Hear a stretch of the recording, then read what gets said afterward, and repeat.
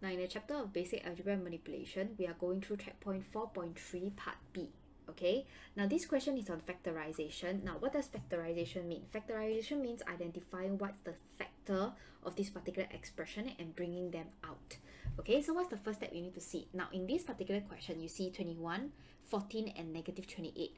What, what is factorizing actually about? It's actually to test you on your multiplication tables. So you do realize they are all divisible by 7. Okay, so let's take 7 out. And then what's the common factor you would have?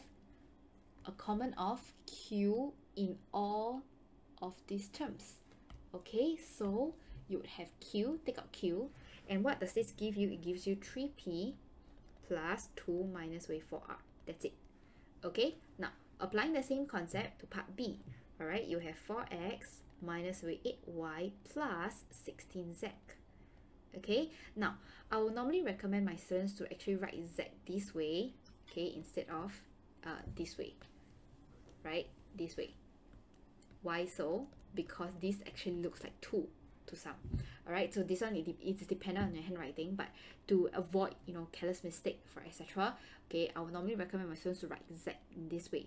So you see let's take a look. Is there a common factor throughout? Yes there's a common factor of 2 okay? So sorry there's a common factor of 4 so let's take out 4 as your common factor and that will give you a x minus 2y plus 4z.